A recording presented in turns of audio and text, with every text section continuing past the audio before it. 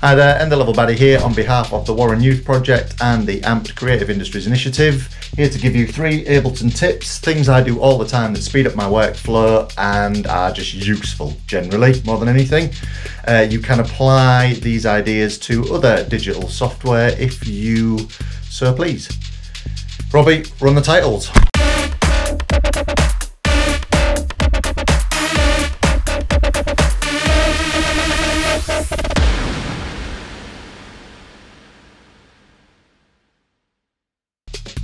This is the default Ableton load up screen.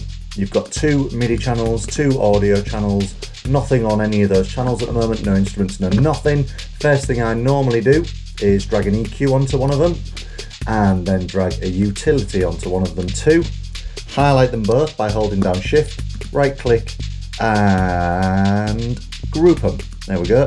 Now I've created an audio effect chain. It's not the most elaborate ever.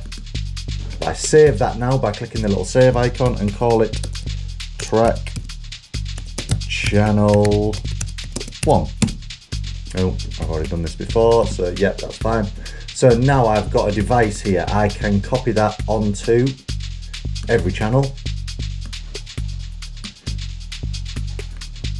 And now they've all got an EQ and the utility plugin.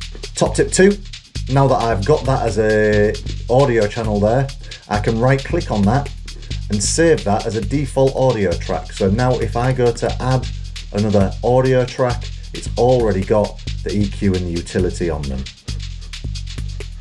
Same with MIDI, if I save that as a default MIDI track, now if I add another MIDI track, that's on there already.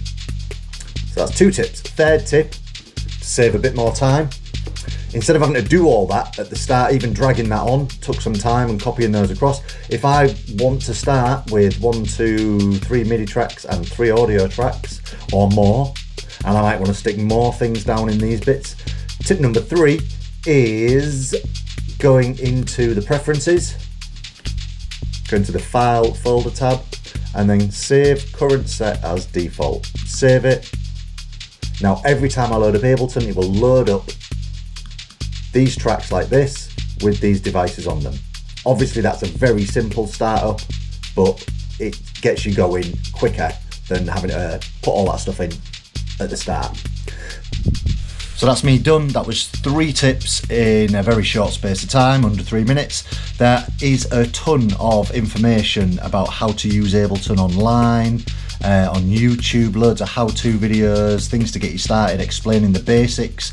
If there was anything you don't understand, uh, by all means add that to the comments or go online and find out for yourself. We've got plenty of time to do that. Cheers, bye now.